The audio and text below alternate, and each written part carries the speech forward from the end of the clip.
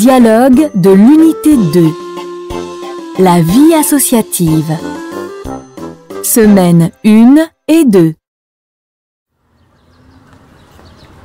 Samy, l'association des parents de notre école est très généreuse. Oui, nos parents ont apporté beaucoup de choses.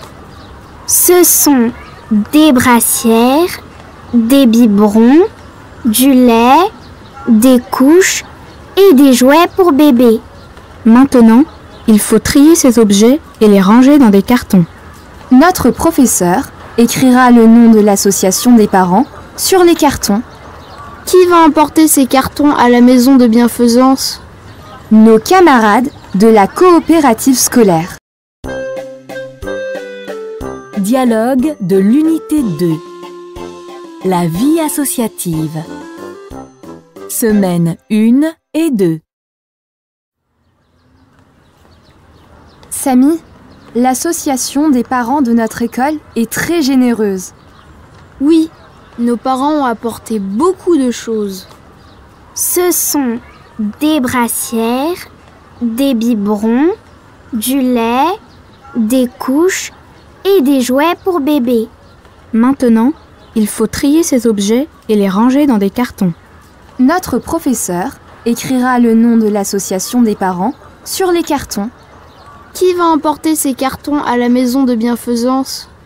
Nos camarades de la coopérative scolaire. Dialogue de l'unité 2 La vie associative Semaine 1 et 2 Samy, l'association des parents de notre école est très généreuse. Oui, nos parents ont apporté beaucoup de choses. Ce sont des brassières, des biberons, du lait, des couches et des jouets pour bébé. Maintenant, il faut trier ces objets et les ranger dans des cartons. Notre professeur écrira le nom de l'association des parents sur les cartons. Qui va emporter ces cartons à la maison de bienfaisance? Nos camarades de la coopérative scolaire.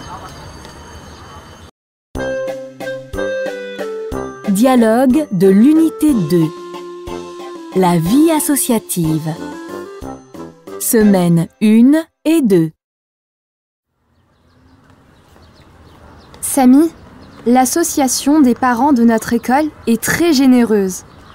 Oui, nos parents ont apporté beaucoup de choses. Ce sont des brassières, des biberons, du lait, des couches et des jouets pour bébé. Maintenant, il faut trier ces objets et les ranger dans des cartons. Notre professeur écrira le nom de l'association des parents sur les cartons.